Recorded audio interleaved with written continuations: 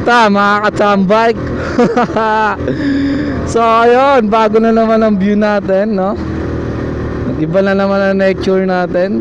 So, tatanungin nyo kung nasan tayo, eh, nandito tayo ngayon sa Morong, Bataan at pabalik na tayo ng Manila. Pabalik na agad eh, no? Hindi pa tayo nagpunta, pabalik na agad. So, hindi na ako napag-video nung nagpunta tayo doon. At ano nga bang ginawa natin? So, wala man tayong masyadong ginawa rito. Um, nag-reunion lang naman yung pamilya ng girlfriend ko. Kaya napunta tayo ng mabilisan dito. Biglang punta lang. Buti na lang kamo um, kami maintenance lang natin sa motor natin di ba? Nag pinakita ko pa nga yung video natin nung nagano tayo nag nag linis tayo ng brake shoe natin. So brake shoe. Brake drum. Drum brake yun drum brake. So ayun. At ban meron nga ang binidyo kanina na cinematic ko no itong mga nakairang araw na rin siguro kasi baka madidelay ko tong video na to. Ginawa ko yung video na yun na kahapon lang sa date ngayon sa kung anong araw ngayon ngayon ay Tuesday. So ayun um yun lang. Tapos ngayon pabalik na tayong Maynila. Pabalik na tayo sa ating tahanan pabalik na tayo sa mapulisyong lugar sa Pilipinas. So ayun mga katambike mga pwede natin pag-usapan ngayon. Alam ko na pwede natin pag-usapan ngayon mga katambike eh to mismong lugar na to. Yan yung binabaybay natin. Pero malapit na kami sa SBMA gate kaya wait lang at maya ulit kasi mamaya sabihin ko sa inyo kung anong mga rules dito. Tatanggal ako na lang ng helmet saglit kasi chinecheck nila rito yung helmet kaya tatanggal muna tayo. Stop muna tayo rito. Stop tayo saglit dito So ayun, napagtanggal na tayo ng helmet. Kung natatandaan nyo itong lugar na to, itong hinintuan natin. Isa to sa pinaghintuan nila Reed. Ilala nyo si Reed. So, credit nga pala sa'yo, Paps. credit sa'yo kasi ginamit ko yung pangalan mo. Um, Doon huminto sila Reed kasama yung mga KTM family. Ko alam kung anong riders club yon Basta puro sila KTM At huminto sila ron para mag Gawa ng mga plaka Kasi hindi sila papapasukin dito Pag wala kang plaka. So pag po registration din ng motor mo Huwag ka nang magtangkang pumasok dito. Mga katambay Kasi Rules nila yung rito. Tapos Mamaya papakita ko naman sa inyo Kung saan Kuminto sila Joseph Joseph ano yun? Life in Metro Manila ba yun? Basta yun yung si Kano ng dating naka Sigma 250 at ngayon ay naka, naka Ninja 650 ba yun? 650 basta Kawasaki na 650cc so ano nga bang meron dito sa highway na to? Ano nga bang kalsada tong binabaybay natin? Ito, tinatawag nilang SBMA. SBMA Road ba ito? SBMA Highway. Basta SBMA. Yon, tapos yung ininto natin yun ang Morong Gate. Pero SBMA pa rin na nagbabantay. At ang meron dito, mga katambike, syempre, kikita nyo naman napakaganda ng kalikasan dito. So bawal dito minto ng basta-basta ka lang hihinto mga tambike kasi kung mapapansin nyo gubat to pero di ko alam kung bakit kami munti ka mahuli rito Masyado daw kami mabagal. Kita raw kami sa CCTV. Ewan ko totoo yon. Pero alam ko totoo yon kasi alam naman namin na babagal kami. kasi pang pangat pangalawang punta lang namin ata nun dito. Siya nga pala pag papasok rin kayo ron, make sure nyo na naka-open na rin yung headlight nyo bago kayo pumasok kasi lahat ng nakamotor dito kailangan naka-open ng headlight. So ayun nga yan 'di ba? Makikita niyo naman mga motor dito naka-headlight. So day or night yan mga katambay lalo na pag night syempre 'di ba?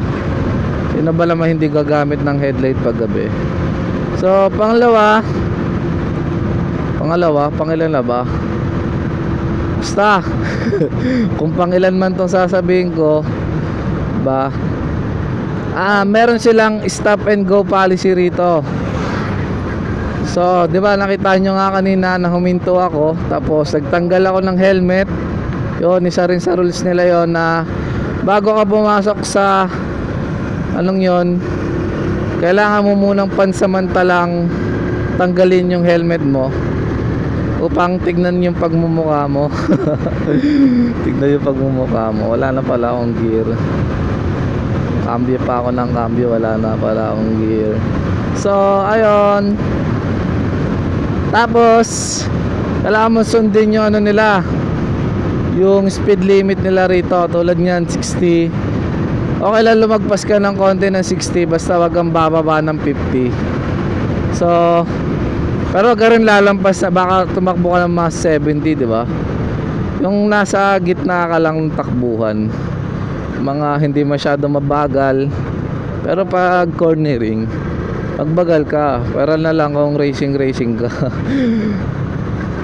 Di ba? Ah yun di ba? Tapos ano pa ba? Um si Joseph in Metro Manila di ba? Nagtaka siya nung una niyang punta rin dito na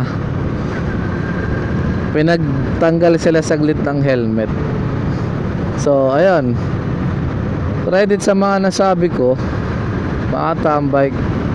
Mga sorry kila ay credit sa inyo mga Sir Reed at Sir Joseph um, ano pa ba? Madadagdag natin. Hanap lang tayo ng konting kaalaman. So yun pumuputok pa rin yung hell yung ano ko. Pumuputok yung tambucho ko. Hindi ko alam kung bakit. Pero minsan hindi naman ganyan yan. At ayun. Uh, make sure nyo na ano na ba paulit-ulit ako sinasabi katulad ng sinabi ko nung ano nung nakaraan kong vlog na bago ka umakyat dito eh magpagas ka na kasi mahal ang gasolina ron sa Morong. At kung sa Morong ka man magpapagas make sure mo na marami ka pang gasolina kasi kung makikita nyo tong lugar na to walang masyadong mga establishment puro gubat to ilan lang ang establishment dito at walang gasolinahan dito mga tambay kaya make sure nyo na na bago kayo umakyat or bago kayo bumaba eh may gas muna kayo. Tulad ko may gas ako pero hindi na ganun karami. 'di ba at ayun nga enjoy nyo lang tong view natin at second gate na tayo mga tambike enjoy nyo lang tong view natin. Kasi di mo na magsasalita kasi masyadong mabagal ako. So stop lang tayo rito. Yan. At enjoy nyo na lang yung view mga katambike. So mamaya na lang tayo mag-usap kasi bibilisan namin ng kaunti kasi medyo tinatsanghali na kami. Baka abutan kami ng traffic sa Manila. Kahit alam naman natin traffic na ngayon. So ayun mga tambike enjoy nyo na muna yung view. Kasi tuturo ko sa inyo mamaya kung saan nagtanggal ng helmet sila Joseph di ba Joseph ride in Manila. Malupit siya no? Counterflow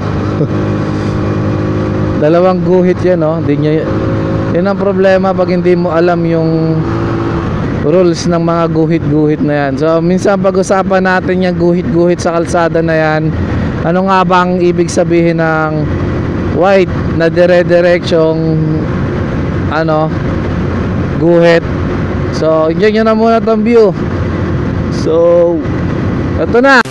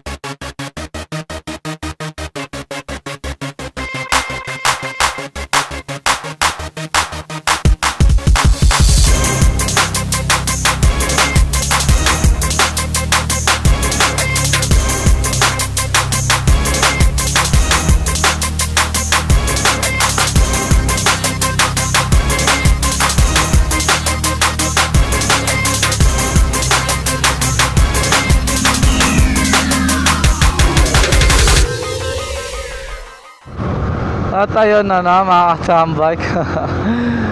so masyado mahangin. Baka masyadong din nyo marinig. Baka masyadong din nyo marinig. So ayun nga mga katambike no. No? Para ako no. Nandito na tayo sa Subic Bay. Yan. eh, Subic Bay na tayo. At malapit. Medyo malapit. Malapit, medyo malapit. Medyo malapit. Medyo malapit na tayo kung saan huminto. Sila sila sila Uy, ganda oh. 'Di ba? Ganda ng dagat. Eh, ganda ng ano rito, view. So hindi yung dagat, hindi na ganun kaganda ang dagat. Kasi pier nga 'to, 'di ba? Kaya medyo maano-ano na yung dagat dito. So bumaba yung energy natin. Kailangan natin magpataas ng energy. So ayun nga mga katsamboy, no. Turo sa inyo kung saan huminto huminto sila Joseph at mga kasama niya mga kasama niya talaga yun no? basta turo sa inyo so stop and go pa rin. Policy rito kahit saan dito sa buong Subic. Yan man nanguhuli yan mga yan. Dadagdag rin pala ako sa inyo mga katambike yun pinago na tayo. Ah hindi na talaga ginawa yung kalsada doon kasi puro truck ang dumadaan doon laging sira so may dadagdag ako sa inyo mga katsambike once na pupunta kayo rito sa Subic Bay. Diba? sabi ko nga sa inyo kailangan naka-open yung headlight nyo. Tapos may plaka kayo. Tapos ano pa ba? Ah, magtatanggal kayo ng helmet pero dumating kayo sa gate. Pagpapasok kayo ng gate. Pero paglabas naman alam ko kahit hindi na stop lang tayo. At yan enjoy nyo lang yung view rito sa buong Subic Bay. Mapupunta pala dyan at mahilig magsapatos. Itong stoplight na to yan kita nyo yung Petron. Petron dyan. Banda dyan mayroong Nike store. Tapos kung gusto niyo na Adidas, merong Adidas outlet diyan. So punta lang kayo rito. At para makabili kayo ng may bawas na. Diyan sa Adidas Outs Out Store. Sa diyan sa Adidas outlet eh Madalas sila dyan nagkakaroon ng 50% discount. Napapansin ko lang. tuwing dumadaan ako dyan ng di ko alam basta pag pumupunta ako tinitignan ko yung Adidas outlet na yan madalas ang makakita dyan ng 50% off sila. So punta lang kayo dyan kung naghahanap kayo mga sapatos nyo no? So ito yung dadagdag ko mga katambike yan yung guhit na yan. Makikita nyo yung mga guhit guhit na yan.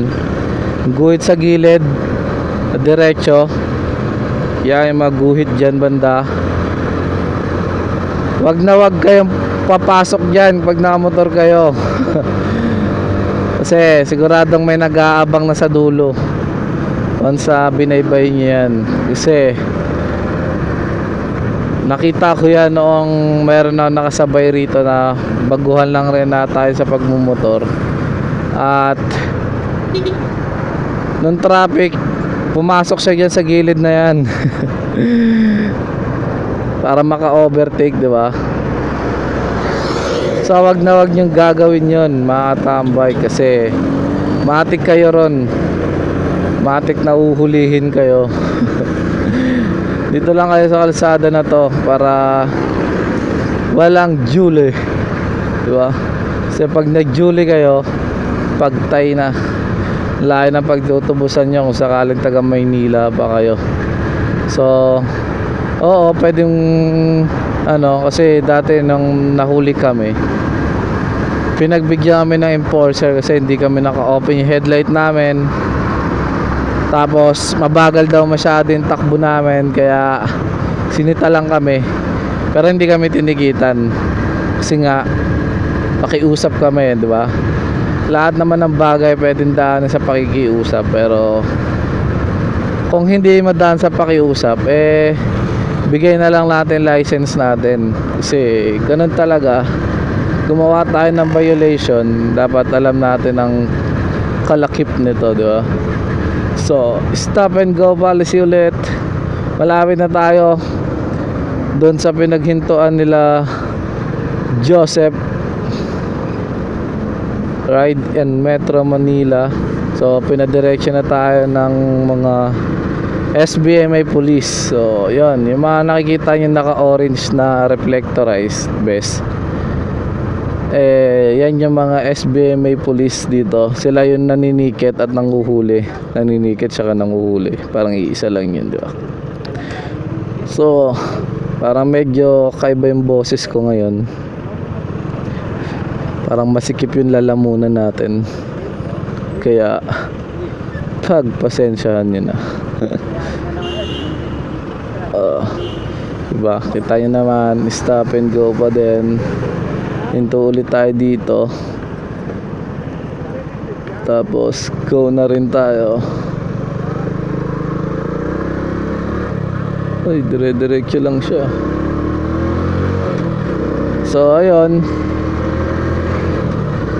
Dito na banda ating harbor point? Yan. Siya sa pinakakilalang mall dito sa Subic. Stop go ganun lang. Ganun lang ang gagawin niya mga katambay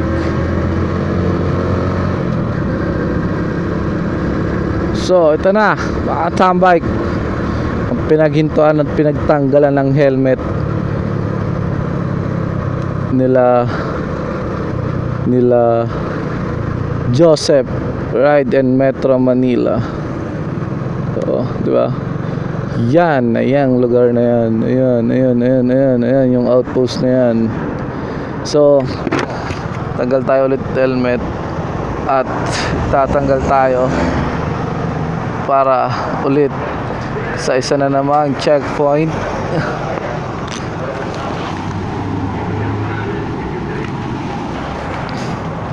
So ayun, yun lang. Dito lang rin uminto sila sila Pasensya na, medyo sakit ang lalamunan natin. Sila Joseph. So dito muna tatapusin to mga katsambike at kita tayo sa bahay sa bahay na ba? Pag malapit na siguro sa bahay. Kita tayo pag malapit na tayo sa bahay. So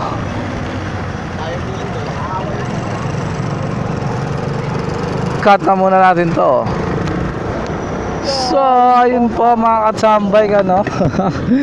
So andito na tayo. Dito na sa amin at palubat na tong action cam ko. So after how many kilometers? How many kilometers? So ayan ang tinakbo natin. Ayan yung gas consumption namin yan puno pa rin siya halos puno pa rin siya sa halagang 220 pesos di ba? 220 pesos na gasolina. Hanggang dito na siya at marami-rami pa siya pwede pa siyang ipanglalamu bukas. So dito ko na rin tatapusin to mga katsambike kasi palubat na to. So ayun diba? Sana nag-enjoy kayo sa pag-rides natin. So hanggang sa susunod nating pagkikita i-click muna ang subscribe button pati na rin ang notification bell para maging updated ka sa ating mga pagtatambayan.